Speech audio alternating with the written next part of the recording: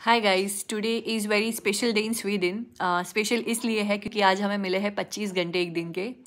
और इसको बोलते हैं एक्चुअली डे लाइट सेविंग जो होती है समर में वो ऑफ़ हो गई है। एंड uh, जो हमारी जो क्लॉक होती है ना वो हमें वॉल क्लॉक को एक घंटा हमें पीछे करना पड़ता है बिकॉज़ समर uh, में हमें हमने एक घंटा आगे किए रहते हैं क्योंकि समर के डेज़ लंबे होते हैं तो डे को अच्छे से यूटिलाइज करने के लिए हम डे लाइट सेविंग ऑन करते हैं लाइक गवर्नमेंट करती है of course there is a rule तो this is not just in the Sweden but in Europe also और वर्ल्ड में दूसरे जैसे U K U S Australia और कनाडा वो सब जगह पे भी डे लाइट सेविंग होती है बट वेरीज अलग अलग टाइम पे होती है. एंड uh, जो some in Denmark and Sweden में जो होती है वो एंड ऑफ़ द अक्टूबर जो अक्टूबर का लास्ट संडे होता है तब डे लाइट सेविंग वो लोग ऑफ़ कर देते हैं। सो so, आज वही है। Today is the last Sunday of the October तो हमारी डे लाइट सेविंग ऑफ़ हो गई है एंड हमें आज मिला है एक घंटा एक्स्ट्रा बिकॉज़ घड़ी को पीछे करते तो ये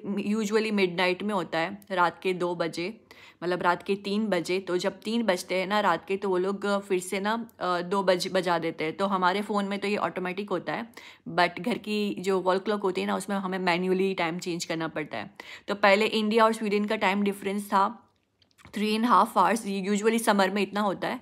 एंड विंटर में जो टाइम डिफरेंस हो जाता है फोर एंड हाफ़ आवर तो हम four and half hour India के टाइम से हम पीछे चल रहे हैं आज से. और, बस दैट्स इट तो ये थोड़ा आज अलग दिन है तो मैंने सोचा आपसे मैं शेयर कर लूँ.